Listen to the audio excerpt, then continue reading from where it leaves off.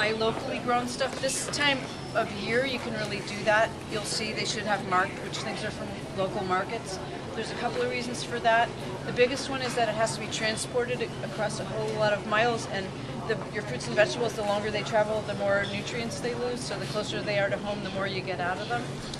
Um, it's also ecologically correct because you're not wasting all the gas to, to truck them across from California. So, and and you're also supporting. Staff and Time is a great grocery store.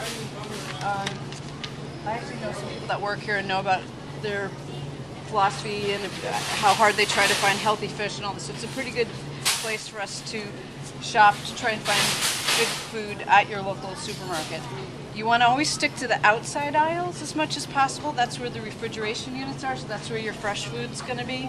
So try to stay here more than you're going to stay in the middle where all the snack foods and then things you probably should be waste, you know, might be buying on impulse would be. The butter and butter type spread, like, it's it's really it's really hard to know what to buy. But I can say that the more a solid something is at room temperature, the worse it is for you. So no offense to Blue Bonnet or Parkay, but these stick margarines are like the literally, aside from lard, kind of the worst thing you could buy. You're better off if you want to use margarine to use one of the soft ones.